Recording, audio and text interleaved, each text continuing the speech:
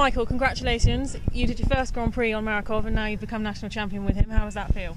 Uh, I'm I'm over the moon. It was an incredible feeling today, and going in so tight, you know, with Carl there. Um, and the test that he did today was when he came out. No matter what the outcome, I would have been absolutely thrilled with him. And what were the highlights of the test for you?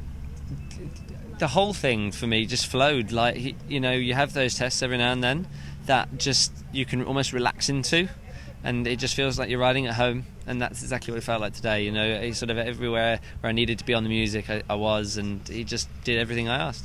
And you had a difficult ride with Der Designer this morning so how do you get your head back in the game and think yeah well with Der Designer once he got in the arena he was absolutely great. It's just he was a little bit spooky with the flowers at the beginning um, but once once he was in the arena he felt fantastic.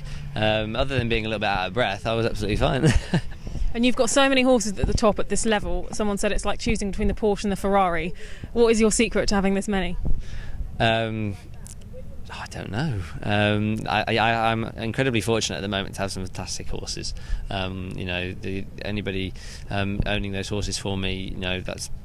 I couldn't say a bigger thank you. You know, the, the, horses. Some of the horses that I've had, you know, have been tricky at the start, and um, I've had to, you know, find ways to get around certain problems. Um, and uh, but the potential for a lot of the horses that I have is is you know extremely good um, marks. So if they can, you know, if I can get them where they need to go, then then I think they have a good chance. And you've had a great year, silver at WEG, champion here. What's next for you? Um, I'll go home and have a good celebration. I think we need. Uh, I think we definitely need tomorrow off, and we should uh, we should do something fun.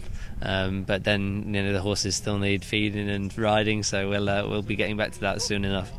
Congratulations. Thank you very much. Thank you.